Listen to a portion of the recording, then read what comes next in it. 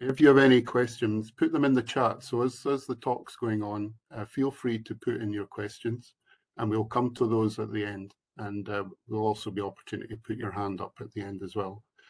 So I think that's kind of the basic stuff done. Um, so firstly, our, it's a real pleasure to introduce Seth Davis from University of York.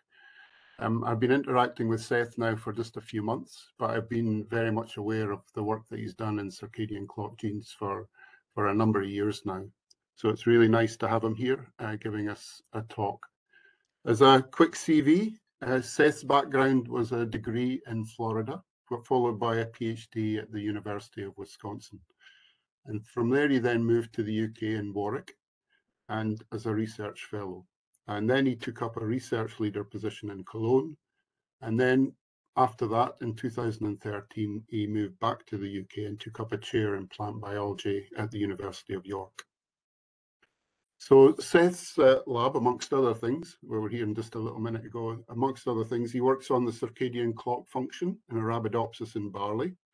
So the circadian clock in plants is one of the, the most important molecular mechanisms uh, in plants it regulates. I'm a I'm involved in plant gene expression, so I know it regulates the biggest daily changes in gene expression, and it coordinates also seasonal changes. So mutational changes in circadian clock genes have led to some of the most important adaptations to new environments of our crops. So I think we're going to hear a little bit about that from Seth today. So I'm just going to stop there and I'm going to pass over to Seth in his presentation exploring the photoperiodic clock in grasses. So I'll pass over to Seth. Thanks, Seth. Yeah, I'm going to put this on the first slide. Yes, um, thank you for the invitation in this um, IBS, IBH um, I guess I shouldn't say IBS, uh, IBH uh, seminar series. Um, when I was thinking through what I wanted to talk about today, I decided um, um, that my original talk title had um, kind of the concept of wheat and brachypodium in it, but I decided instead to focus more on barley, but just orient what some of the challenges are, I think, um, that the clock can help mitigate in barley. And all of my seminar, I know not everyone here is a molecular geneticist, but this is kind of a punchline of, of the general theme that I want to do and then how we can exploit this. And this is the general idea that um, winter annual barley coming from the Fertile Crescent, depending on how you want to count, anywhere between 20,000 and 40,000 years ago, moved to temperate Europe and became spring barley. And we now know through um, genetic studies over the last five or six decades, and also now molecular genetic studies, the three major genes were involved in this transition. Um, genes called VERN1, VERN2, which I'll briefly mention, um, which I'm, I'm, not an expert in, and then a so-called um, seasonality gene in barley, PPDH1, um, which is a key determinant in allowing barley to over summer, that is, exist within temperate European climates, which are cool relative to where it originally evolved from, but also with the extended light that we have um, at our extreme latitudes we find in European climates. So this is what I want to talk to you about today is um, what does it mean to be a seasonal gene in barley and how might we move forward uh, and thinking about this. So I think a lot of breeders, this is probably, or a lot of farmers would kind of ask this question uh, when they're thinking about when to drill barley seed. And that is, would you want a winter barley or would you want a, spring barley? And I'm probably the least expert of this entire panel today in this decision. But if we do think about, you know, the major difference, of course, is that winter barley is predominantly living its growing life during um, having more darkness and less light over its light life, whereas spring barley would be living its life where days tend to have more light and less darkness in them. If you go through these kind of um, shopping lists of things that you would care about, uh, we do have down here this idea that a major difference between winter barley and spring barley is that winter barley has the ancestral wild type PPDH1 and spring barley has the derived um, not loss of function but reduction of function PPDH1 gene. So the reason why I became involved in this and why I think the group at the James Hutton and internationally is aware of our work is because PPDH1 was showed by Dave Laurie's group before he um, went to retirement at the um, John Innes Center that it is the barley ortholog of an Arabidopsis circadian clock gene called PRR7. And this leads to a major question. What does it mean to be a circadian clock gene? So what I'm going to do in my next 10 slides or so is just go through the history of the plant circadian clock, just to thinking about some of the, the concepts of that, just to help the barley community think about what is a rhythm and what do they mean and how can we exploit this. So this is um, kind of undergraduate lectures slides we're going to have for the next 10 or so, just thinking about clocks. So I'm going to start at the beginning. Whenever you start at the beginning, you start in the Bible. So this is chapter 1, verse 1 of the Bible, uh, the King James Version. And you can see the very first thing that's mentioned is time. Time is the beginning of everything as it comes to the Abrahamic religions. And um, after time was um, the separation of the light dark environment. So, so time and light and dark are the most important things that orient our concept of understanding the evolution of the earth. And I think um, that's a reasonable thing to consider. Uh, and, uh, the other thing, of course, is that um, light is good. Um, and I think generally speaking, barley would agree with that. So I think barley generally likes um, as a photosynthetic autotrophic organism. And this is kind of where um, plant circadian people think about the clock, and that is that we have predictable rhythms that exist because of the rotation of the Earth. So um, any terrestrial organism living more than a year will spend exactly half of its life in the light and half of its life in the dark.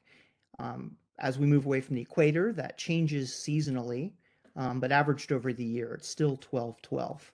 And the predictable environmental signals that occur because of that rotation of the Earth are the light dark cycle the warm cool cycle, and much less understood is the wet dry cycle, the humidity rhythms that are generated by these two rhythms here. We do know that these humidity rhythms um, do function in the oscillator and they do contribute, for example, um, to transpiration rhythms, but that's poorly worked on. But the business end here is that inside a plant cell is a circadian oscillator. One can think of this as a biochemical machine that has a kinetic enzyme rate of once per day. Okay, so that is, you have um, a biochemical process that tells the plant what time of day it is. If we look at latitudes such as we are here, uh, I'm in York and you're many of you are in Dundee, but I think most of us are away from the equator. Um, we're September 21st, we'll have the day that has the largest photoperiod change. And at our equator, or at our latitude, one day to the next will be seven minutes different. Okay, so the circadian oscillator needs to be reset by these environmental signals as an organism responds to changes in photoperiod. So if tomorrow is going, the sun will rise seven minutes later than it did today, the oscillator doesn't have a purpose uh, without knowing what the light dark cycle will be. But this is the thing I think that most breeders would be interested in. That is, what does the circadian clock do for the plant? This is a bit of an academic exercise. What are the genes that make the clock? But this is the business end, right? All of these kinds of traits here contribute to yield, either directly or indirectly, either by creating biomass or determining when in the season a plant flowers, when the leaf senesces to remobilize nitrogen to the seed, uh, and also importantly, the clock contributes to abiotic and biotic stress tolerance. So um, plants are um, preventing the ability of damage to occur based on the expectation of the time of day, for example, that an aphid would um, suck phloem sap.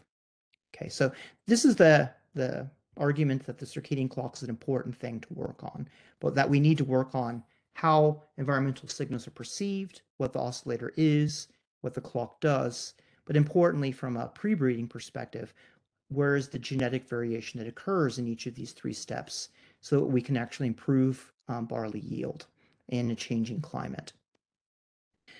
So the plant circadian clock has been studied for as long as natural sciences has existed.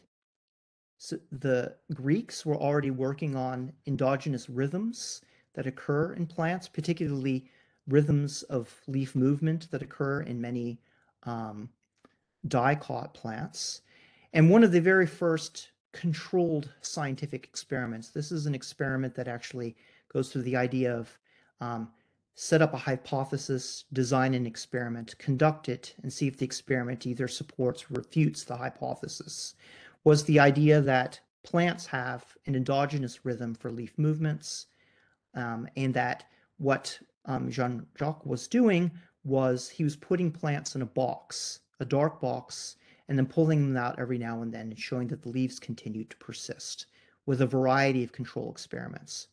Um, he was murdered during the um, French Revolution, as essentially every French academic was, and that actually slowed down the circadian rhythms research until this guy got involved, and that is Charles Darwin. Um, for those of you aren't aware, the last publication of Charles Darwin was a book with his son, Francis Darwin, who also became um, a fellow of the Royal Society, called The Power of Movement into Plants. And it's a fascinating book that does things like um, predict auxin and the Cholodny Went hypothesis, um, but um, also doing things like looking at root architecture and growing plants.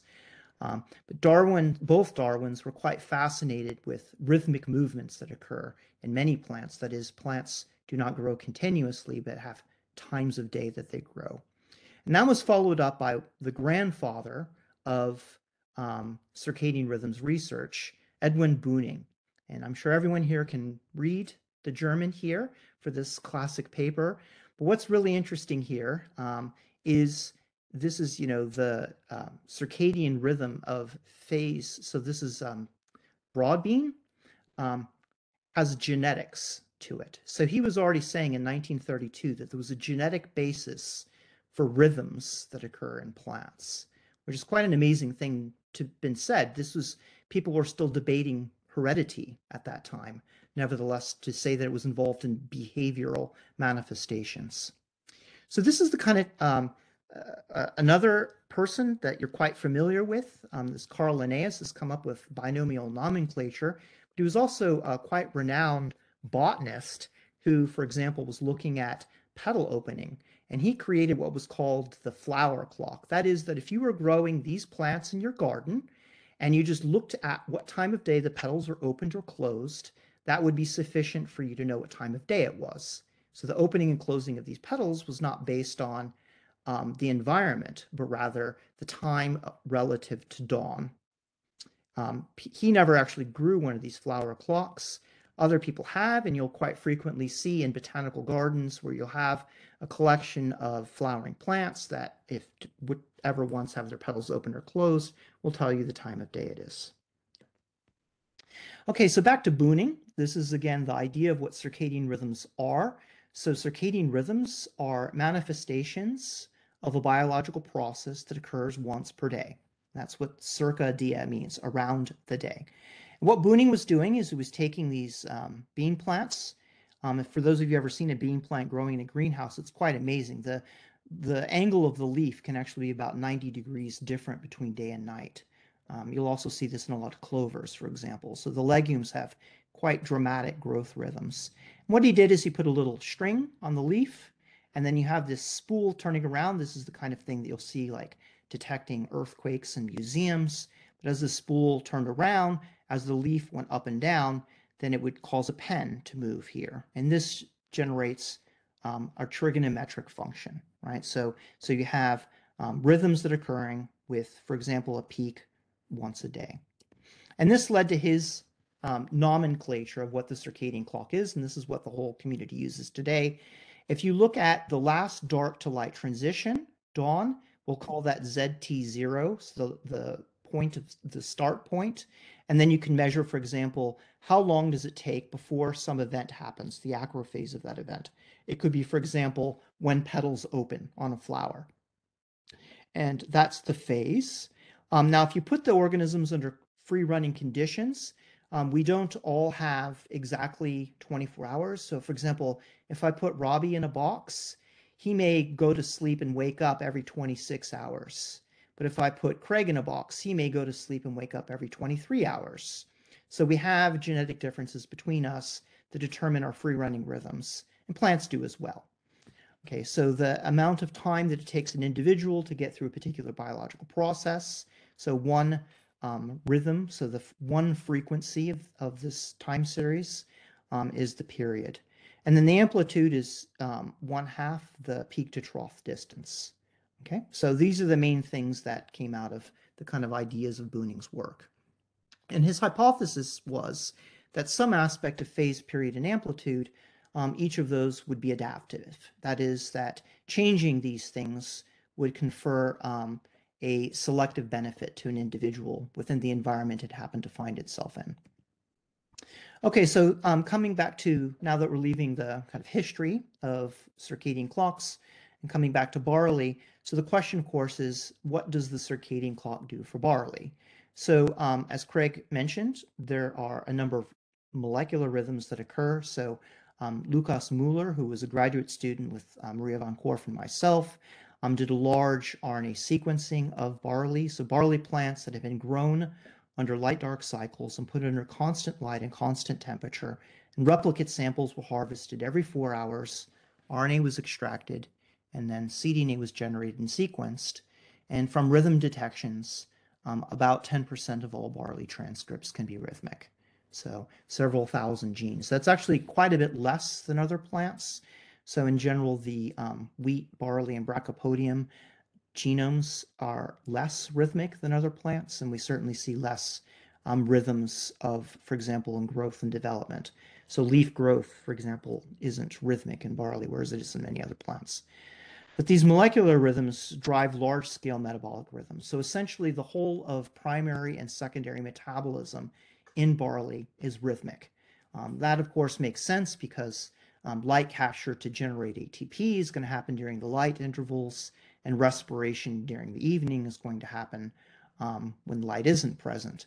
Uh, one big difference between barley and, for example, the brassicas is that barley is predominantly generating rhythmically um, vacuolar sucrose for its energy reserves in the night um, compared to um, sucrose, I'm sorry, starch um, deposits that occur in leaf in, um, in the brassicas. And that's actually the main determinant of why um, rhythms don't exist in barley leaves. Barley leaves are rhythmic according to the coolness of the evening because of the amount of vacuolar sucrose that is excreted. So um, a major developmental trait for barley is the transition from vegetative to reproductive development. Um, so when in the season the plant transitions from stop making leaves to start making flowers is um, a major thing that we see uh, genetically in barley. So uh, what is the genes for the oscillator? Um, almost all of this is based on work in Arabidopsis. So with apologies, I'm going to show you some um, Arabidopsis genes and then show you what's similar and different um, between the Arabidopsis oscillator and the barley oscillator. For those of you who are not familiar, Arabidopsis is um, a crucifer. This is in the mustard family and it's related, for example, to canola or turnips or other uh, broccoli, um, Chinese cabbage. So um, it is an important uh, crop in the UK, um, particularly around the vegetable market. Uh, Arabidopsis also tastes good. I've eaten it, um, so it, it tastes like broccoli. So um, this is probably the first molecular experiment that was ever done for the circadian clock in plants. This is work done by Ferenc Nagy when he was a postdoc in Nam Chua's group. And it was done in wheat. So in fact, actually the very first circadian molecular biology experiment um, in plants was looking at two light regulated genes that are involved in photosynthesis. We now call these genes LHCb genes. And what he was doing is he had um, these run on northern blots here where he had extracted RNA from wheat plants that were going through light dark cycles or kept in constant darkness. So this is subjective day. The plant thinks that it should be in the light here, but the light never came. And you can see that the, you have light comes on, the gene comes on, so it's a light induced gene. But even as the light stays on, you see a decrease in transcript accumulation. So the plant is predicting darkness. So the gene is coming off before it becomes dark. Stays off during the midnight hours, but the gene is coming on before the light is coming on. So even though it's a light induced gene, you have a rhythm of expression. The light didn't come on and it still continues to be rhythmic. So this is a manifestation of um, an RNA expression rhythm. Um, Andrew Millar, then, who was a graduate student with Nam Chua at the same time, decided to take a transgenic approach and started putting reporters behind promoters. So the same CAB2 gene of Arabidopsis, of the gene in wheat, he put against um, an enzymatic reporter gene, made transgenic plants, and the transcript for this reporter continued to be rhythmic compared to control transgenic transcripts. So that led Andrew to um, make a real innovation for the circadian community. This was originally done in plants, and that was to generate um, the promoter luciferase system. So in Arabidopsis, about a third of all transcripts are rhythmic, and about 10% of all transcripts are rhythmic because of promoter initiation. So you take a promoter from any circadian rhythmic gene, make a transcriptional um, fusion to the firefly luciferase gene. This is the gene that um, encodes the enzyme that causes the um, the lightning bug its back end to glow in the evening time. So if you make transgenic plants with this, then they will become rhythmically glowing in response to the transcript accumulation generated by um, the promoter. So what we have here, these are four clusters of Arabidopsis seedlings that have been um, with transgenic either with the promoter of LHY to luciferase or CCA1. These are two genes that are expressed in the morning. CAB, this is a gene that's expressed in the middle of the light of the day, and CCR2, this is a gene that encodes a protein involved in cold stress responses. Um, the plant is predicting that the evening will be cooler than the day, so every day you have an increase in the expression of um, evening cold responsive genes. These plants were set for seven days to 12 hour light, 12 hour dark cycles under constant temperature and then released to constant light, constant temperature. And once an hour, a photograph was taken. And then I generated this movie from that. You can see that these two genes here come on first, and then this one, and then that one. And these are clusters of seedlings that are right next to each other.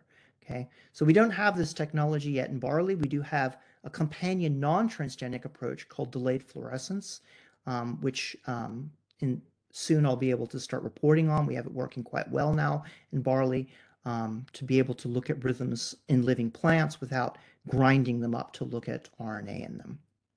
Okay, so using this kind of approach, um, what Andrew did is he mutagenized these to look for mutants that were altered in their rhythm profile. So in each case, the black is the wild type. So you have a rhythm of bioluminescence, and he found mutants where the period, that is the distance between peaks, was accelerated. So these plants have a fast clock, or plants that have dampened oscillators, or plants that have slow clocks. So you can get all kinds of rhythm perturbations. Um, these kinds of mutants then were used to clone a bunch of genes, and ultimately that led to um, uh, a couple different things being able to be done. One was Antony Dodd, when he was a postdoc um, in Alex Webb's lab, decided to test Bünning's hypothesis, and that is that the circadian clock being 24 hours is adaptive. So now that we have mutants where the clock is running, where the, the mutant thinks the day should be a 20 hour day, or a mutant thinks the day should be a 28 hour day, you can start growing plants under fake days. So this is a 10 hour light, 10 hour dark cycle. So um, for those of you don't know, when um, crop plants first came about, the earth had um, a rhythm probably of about 23 and a half hours. So friction is slowing down the speed of the Earth. The ancestral circadian oscillator of plants, the Earth would have been um, about 12 hours. So, so the, the Earth is constantly slowing down. So these, it's not um, completely fake to think about, you know, where the Earth might will be 100 million years from now.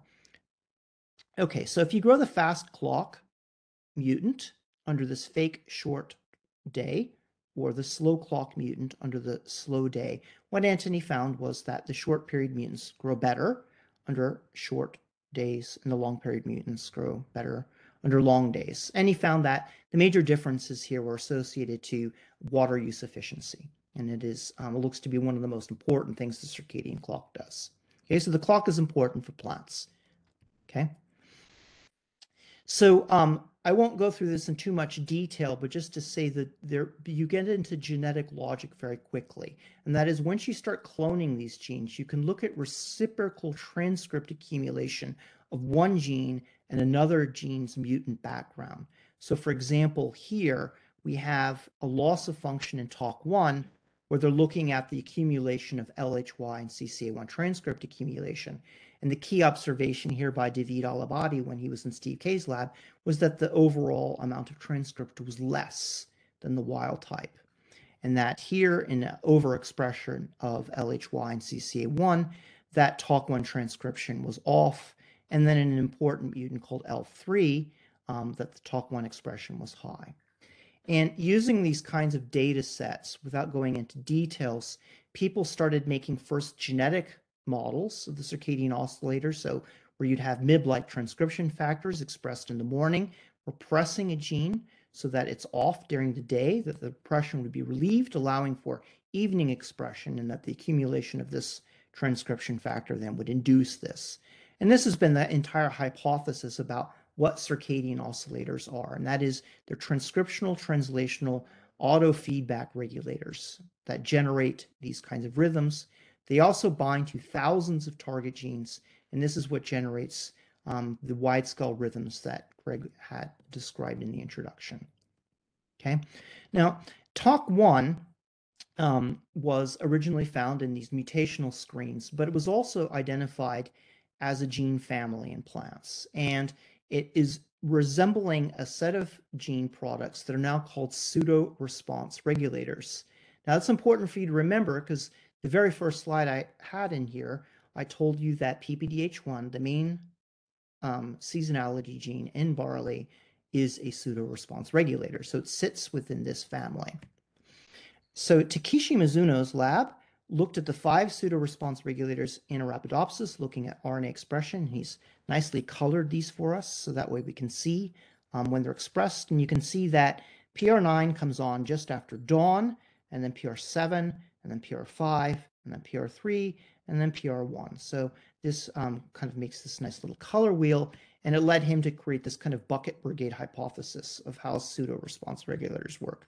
Uh, this is not what they're doing, but it, it again just illustrates that different gene products have expression patterns at different times of day to have different manifestations of the outcomes. Um, where important gene products for the, this talk will be these morning express pseudo response linkers, PRR9 and PRR7.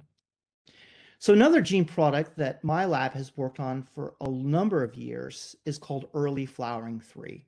And as the name gives away, it's a mutant that flowers early. So it's on the tin, right? So what early flowering three does is the plant thinks it's always in summer, even if it's winter. Okay, so if you grow Arabidopsis under a summer photoperiod, 16 hours light hours or darkness, it has an inductive photoperiod. This is a long day plant. So we'll only make six or seven leaves before it transitions to flowering. Whereas if you have it non-inductive photoperiods at the same temperature, the plant will not transition to flowering. It'll make 30 or 40 rosette leaves before it transitions to flowering. And one genetic screen that can be done, this was done by Rick Amasino at the University of Wisconsin, was to look for plants that, when grown under summer photo, uh, winter photo periods, resembled plants that look like um, grown under summer photo periods. So these plants don't know what season they're in. And what my lab and other labs showed is what's wrong with this. This is um, some work from Nora Bujdoso, former postdoc of the lab, is whereas wild type has a rhythm. Um, what's wrong with ELF3 is that the plant is arrhythmic. The plant doesn't know what time of day it is. If the plant doesn't know what time of day it is, then it plant always thinks it's summer. Okay. Um, importantly, also, she could show that the pseudo response regulators, PRR9 and PRR7, have very high expression. And that'll be important for my discussion of what PPDH1 does. Okay, so um, I'm not going to go through mathematical equations, so um, I could spend uh, an entire seminar just putting up Greek alphabet to you to describe where all these arrows come from. But importantly, we have a very good idea in Arabidopsis of the molecular architecture of the circadian clock, and that this gene product here, ELF3 and ELF4, would directly repress these two morning express pseudoresponse regulators 9 and 7.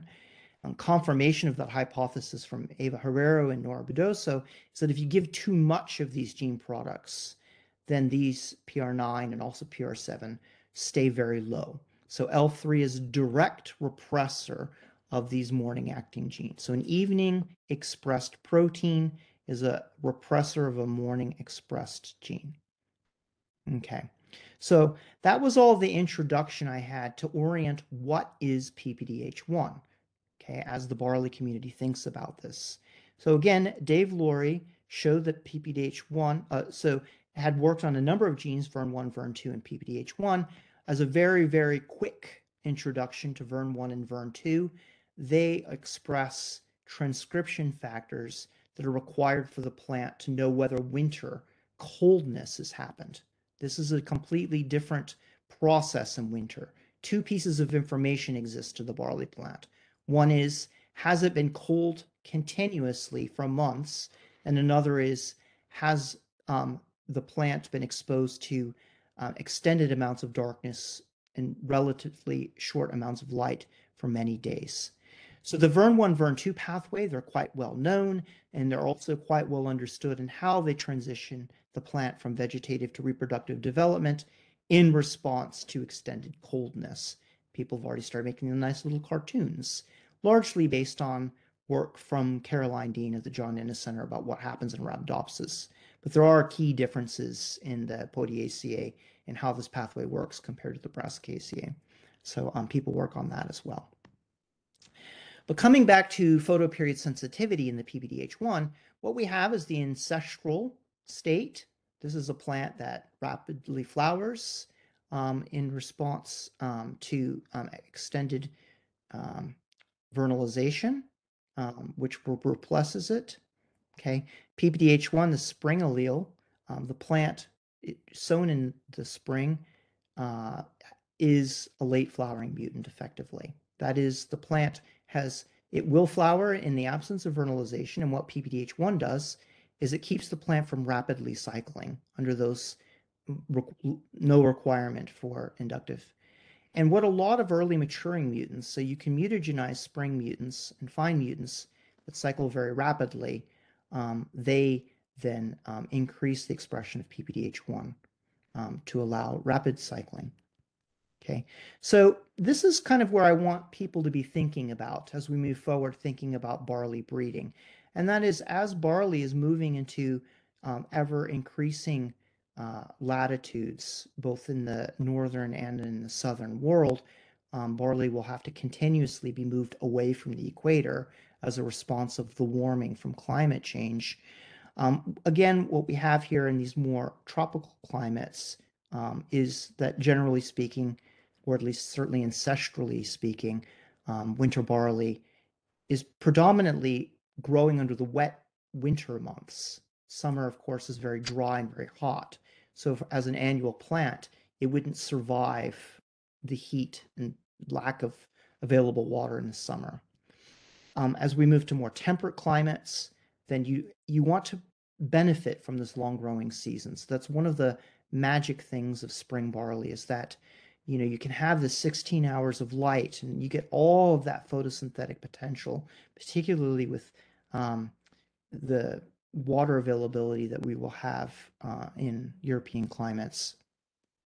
But as you move to even higher northern latitudes, you have actually a, a dramatically reduced growing season because um, spring frost and early onset of winter would dramatically reduce the capacity of having a barley growing season. So you can't have these um, normal spring alleles. You have to have these early maturing spring alleles to be able to fit in that growth season within. Um, um, okay, so just putting this back on the European map. So we have again here winter barley became spring barley. Um, but um, probably about 120 years ago or so, people started working on um, germplasm and a, a, gene product called early maturing 8, which is also called MAT A1. Um, and this is allowing barley to grow in um, Scandinavia and also um, continental Russian climates, uh, with the idea being that you need to have early flowering in the background of a late flowering barley plant. Um, and what Maria von Korff did is she collaborated with Dave Laurie to show that this early maturing line that you can find in spring barley germplasm is the barley ortholog of Arabidopsis early flowering 3. So certainly the photoperiod pathway and the inductive long photoperiods seems like they're both requiring these um, evening um, proteins. So um, I just want to keep beating this to death to thinking about what these different climates would look like. So again, you know, what would you have in um, annual um, barley growing over the winter in the ancestral state or spring barley? So nice um, picture here of um, a nice environment. You might want to grow such plants like this. Um, uh, and again, what you'd have is you'd, you'd be sowing these seed um, to have this nice extended growth season over the summer before you have this autumn harvest rather than the spring harvest. Um, but when you grow these under extreme northern photoperiods, you need to compress the growing season to be able to get yield before the onset of winter. And that's why you need these early maturing lines. Okay. Now, it's not just an increase in latitude that does this. We also see EM8 is an important variant in altitudinal variation. So this is the Tibetan Plateau in um, China, and they have essentially the same latitude, but you also will have this early onset of winter, and they've also introduced early maturing 8 um, alleles, so um, having uh, rapid cycling alleles in a spring barley background to lead to barley cultivation under those kinds of climates. Okay, so uh, again, I'm not going to go through biochemistry and cell biology, but just to orient what we know in Arabidopsis, ELF3 is a protein made in the evening. It goes in the cytosol and in the nucleus. It shuttles between them. And as you get into midnight hours, a small anchor protein is made, which increases the protein concentration of ELF4 and ELF3. Um, and then this increased protein concentration assembles to an anchor uh, to a harbor protein called LUX. And then you end up with this tripartite protein structure, ELF4, ELF3, LUX. And these three proteins together bind to transcription, um, to promoters to cause transcriptional repression at their target genes. And I'm telling you all this because these are the key genes that occur in the barley photoperiod pathway, um, ELF3, LUX, and the pseudo response regulators. So based on this hypothesis, Maria had hypothesized that the lack of ELF3, uh, here she's calling it the barley ELF3 mutant, um, would have increased expression of PPDH1. So what happens to spring PPDH1 in, for example, Bowman or Golden Promise is that you have this transcript accumulation. It's a very broad transcript accumulation that occurs um, peaking around dusk um, and this protein that is made from this transcript has a mutation where it is less able to bind DNA. So if you were to increase dramatically the amount of this partially functional protein, then it would allow it to, to have a proper function. And that's indeed what Maria found is that there was extremely high levels of PPDH1 transcript, allowing it to um, the spring allele to have induction of this. And a major set of data that are coming out is testing this hypothesis is PPDH1 actually a circadian gene? We know that the spring allele in barley does not have circadian phenotypes, but what we don't have in barley is loss of function to PPDH1, so removing this gene product. Um, and this is where um, I was going to say a little bit about what's going on in Brachypodium, which is a weed that is in the family of barley, and also um, and tetraploid uh, wheat, so pasta wheat. Um, people haven't done this yet bread wheat. Is the idea that um, loss of function in these genes should actually lead to um, very late flowering, and that ELF3 should not accelerate that.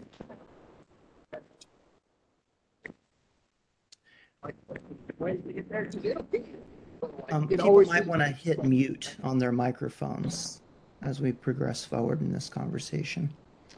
So, um, just a little bit further in the academic exercise here, um, we know that the barley circadian oscillator and also work from Alex Webb's lab that the wheat circadian oscillator cannot be the same as that in the brassicas. This is just one example of such data. So, as we have in Arabidopsis, an increase the these part this is um, a, a reduction of functional allele. This is a strong allele. This is a null allele. And you can see that as you go from the wild type to these increasing alleles, you end up with this particular transcript is going up, up, up. Okay. And the equivalent in barley, it goes down. So we don't know what the barley oscillator is yet. Um, as Craig mentioned, it's something that um, he and I are interested in, in thinking about is what is the barley oscillator just as a, a fundamental level and also how does that oscillator respond to um, changes in um, seasonal availability of environmental cues okay okay so just to finalize my talk now so as i mentioned we have a pretty good idea of what the circadian oscillator is in plants we have light represses this evening uh, complex, as it's called, through what are called phytochromes. These are red far red light photoreceptors, and that these repress. Okay, so a business end of all of this conversation is these repressors of repressors, ELF3, Lux, and phytochrome. And why I'm telling you about these three gene products is that they're important breeding alleles in pre-breeding stocks in barley to think about ELF3, Lux, and phytochromes. So Maria von Korff and I have been thinking about what are all the genes that could potentially make the barley oscillator. So there's a lot going on in that space for those of you who are interested. This is mostly an advertisement that that, that kind of work is ongoing. But again, focusing on the phytochromes ELF3 and Lux, you can see that they have barley names to them. That is that early maturing 5, early maturing 8, and early maturing 10. So these are existing mutations that exist in spring barley germplasm to allow early flowering. And this, they were originally um, characterized in depth by Robbie Waugh as he was introducing all of the mutants that existed or QTLs that existed into the common Bowman background, which was, of course, a Herculean effort. So thank you, Robbie. Um, so I think the whole community is thankful for those Bowman integrations that exist for their favorite traits. Okay.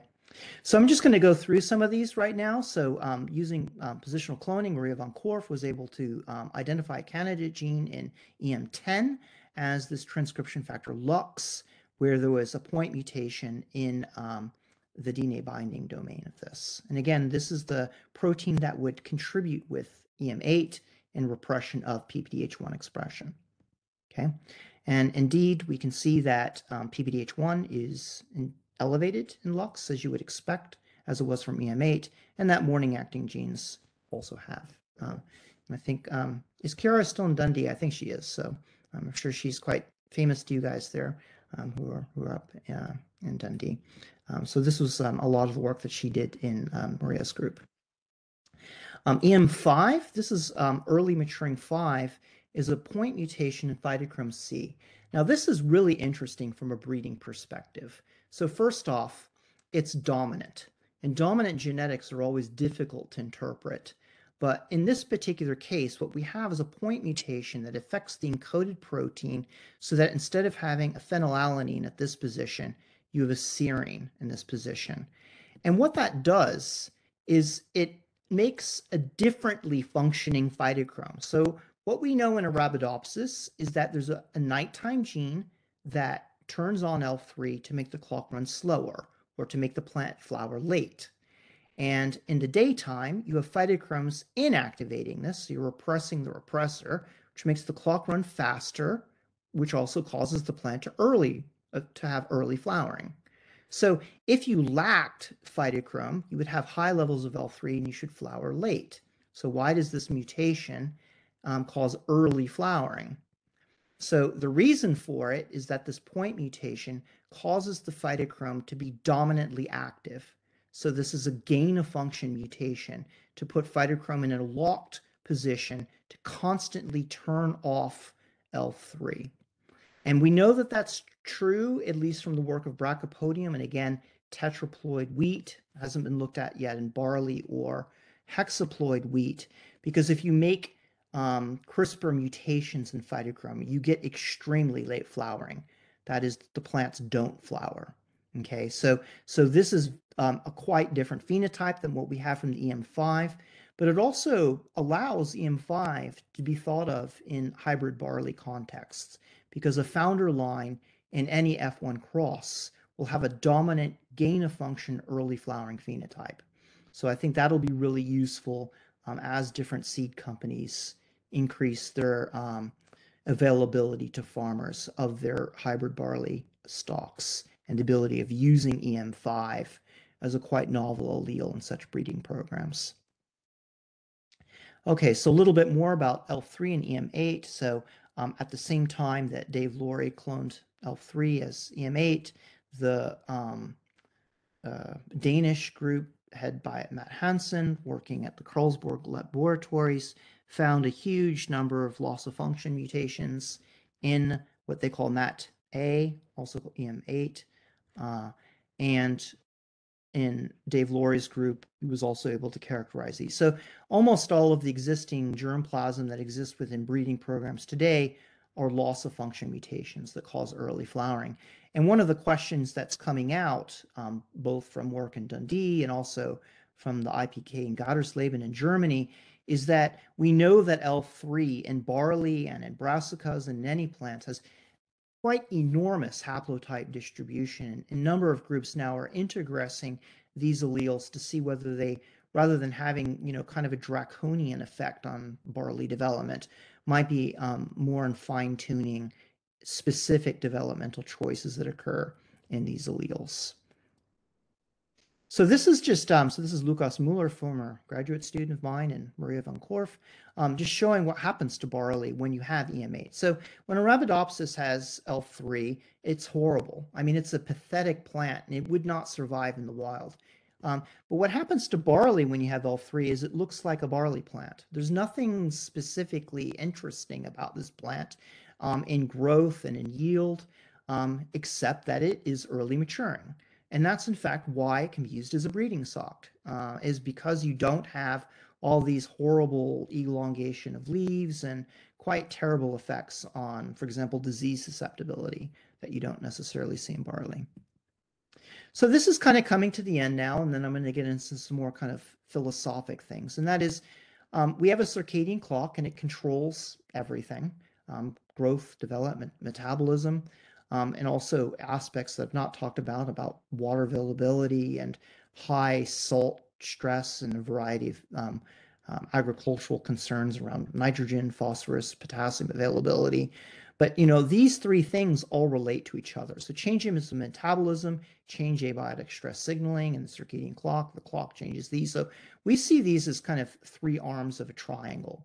And that, you know, as you start um, fiddling with one, you fiddle with the other two right? And all of this is a holistic process that relates to yield and barley. And that what we need to understand is how all three of these things contribute together. Okay, so um, so again, where should we, we be in um, barley breeding? Um, again, we had barley from the Fertile Crescent moving to temperate Europe and and then moving to um, more northern locales. And we want to move them even further. You know, we can already grow potatoes in Greenland, so it's already, um, you know, barley might be next. Um, so, you know, we need to get plants that can grow under very extreme photo periods.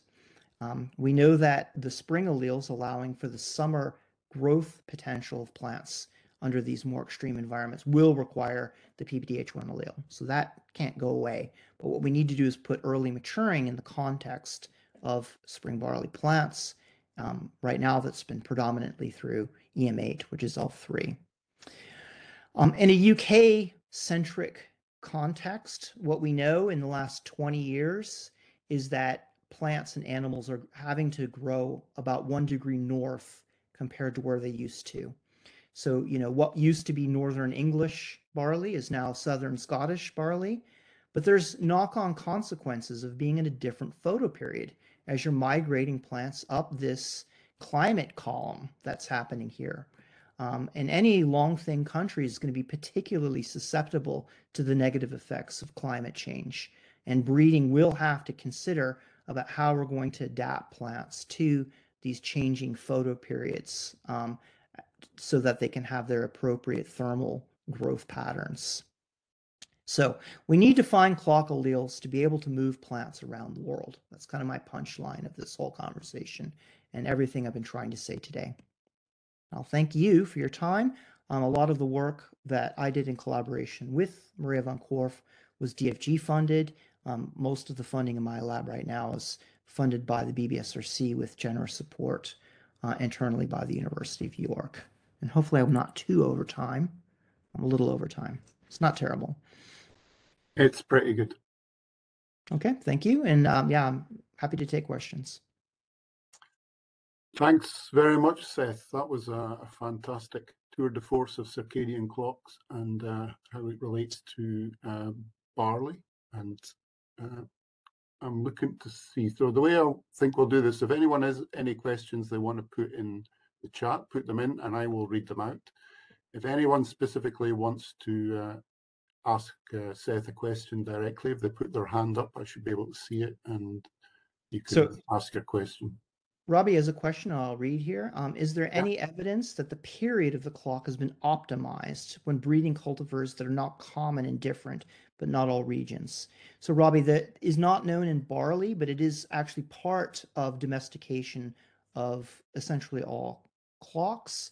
We know the best example of this is, in fact, in tomato where wild tomato had a fast oscillator and directly associated with the ability of tomato to grow under hotter, drier, brighter conditions was um, a delay of the speed of the oscillator. And that delay of the speed of the oscillator is directly connected to when um, water releases from the leaf and when carbon is taken into the leaf. So um, um, the circadian clock is in tomato the domestication target outside of fruit size. Um, in the cereals, um, we know that um, hexaploid wheat has all of the changes that I said here for barley, but they're all in promoter mutations because um, you need to change the expression of the gene products to work in a polyploid context. Um, there's an even greater issue in hexaploid wheat, and that is that you have all of these clock genes made in more copies. So why is the clock still 24 hours? Um, that's actually non-trivial, and people have worked on that quite a lot in polyploid brassicas, um, where we know that clock genes are more likely than the average gene to be retained in polyploids and contribute to why polyploids have um, responses that mimic what happens in hybrid vigor. So we know that hybrid vigor and polyploidy, that their benefits to plants are through the changes in clock gene expression. So, um, so in that sense, we need to study the wheat clock also um, and understand importantly the differences between barley and tetraploid and hexaploid wheat. So I'm not sure if I've answered your question anywhere in there, Robbie, but um, every single crop plant has a different circadian oscillator than the wild plant that it de derived from. So that's a just so story. Okay, thanks. Anybody else want a question? Martin. Hi, Seth. Um, re really, really interesting talk. Um, you mentioned um, altitude at some point, right? Just on one slide, I think. And I would guess with altitude, temperature plays a really big role. Um, is is much known about uh, temperature entrainment of the clock in barley? Does it does it work as well as say in Arabidopsis? And are any genes known that are involved in this process? Okay, so um, warm, cool cycles under constant light will set the oscillator so um, of barley. Um, I think Ben Trevaskis has been largely leading those studies. Um, Daniel Woods, who is in um, Jorge Dubcovsky's group, has been doing some of that also in Brachypodium, as has Phil Wigge um, at um, and has been working on that in Brachypodium as well. We're, we're assuming that everything that's known in Brachypodium um, from a genetic pathway will probably be the same in barley, although that is a trivialization of the importance of barley compared to um, a weed. Brachypodium is not actually that typical of a podii in that sense. Um, one of the things that temperature rhythms do in barley is they control rhythmic gibberellin. And um, a lot of the effects on the flowering time pathway in barley could be quite different than Arabidopsis because of rhythmic GA induction of FT, just to get into specific genes.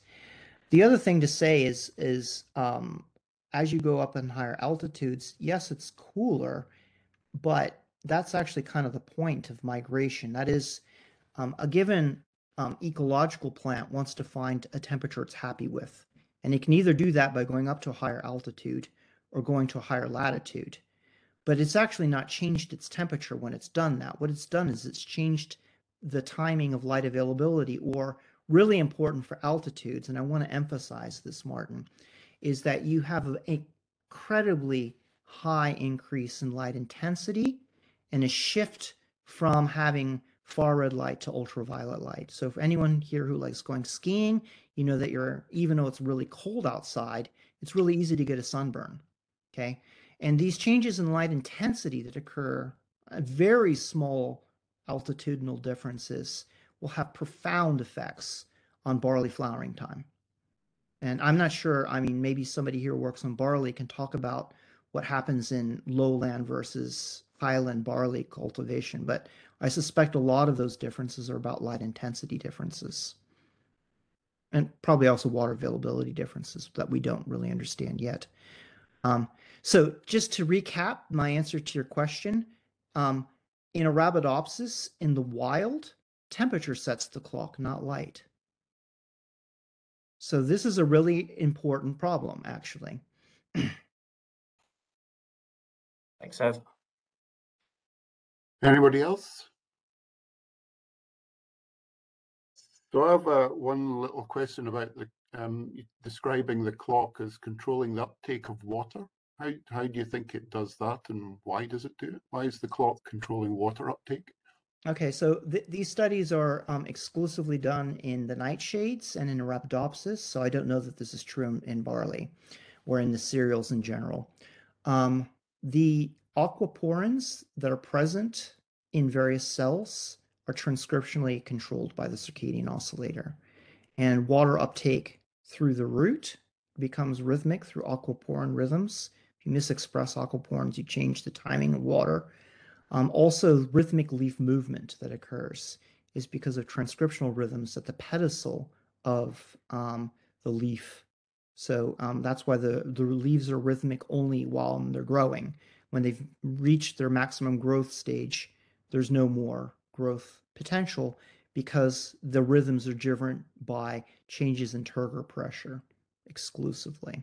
So, mm-hmm. so in that sense, it's a simple answer, and that is transcriptional regulation of whatever particular aquaporin happens to be in whatever particular cell.